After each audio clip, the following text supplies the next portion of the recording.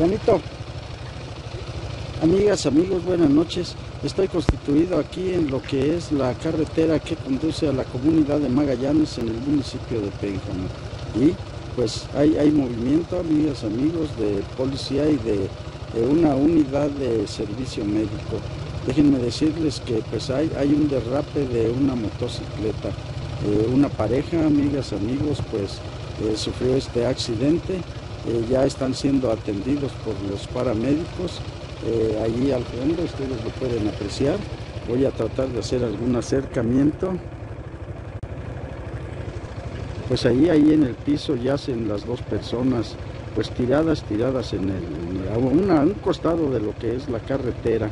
Eh, esto es con rumbo hacia la comunidad de Magallanes. Tomen sus precauciones si vienen con este rumbo, amigas, amigos. Eh, pues esto eh, va a dilatar un poquitito en lo que pues los paramédicos cumplen con su trabajo. Ahí observamos, están en estos momentos tratando de estabilizar a las dos personas lesionadas.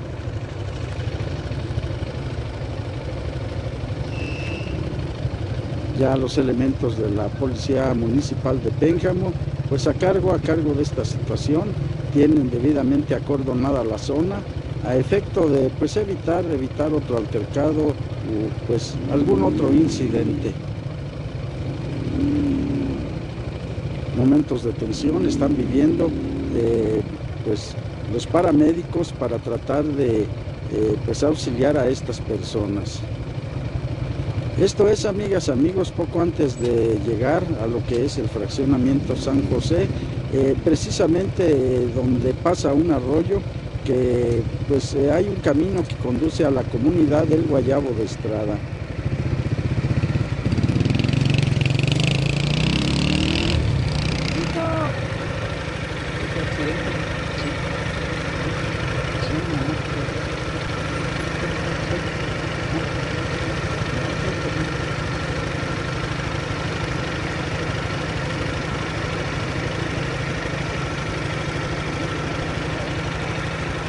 Ya el tráfico vehicular, amigas, amigos, pues está suspendido.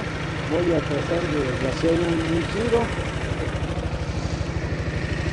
Hay un buen número de motociclistas, eh, de vehículos, pues a la espera, a la espera de pues que se pueda liberar el, el paso por esta vía. Pues así las cosas, amigas, amigos. De momento se ignora la identidad eh, de estas personas.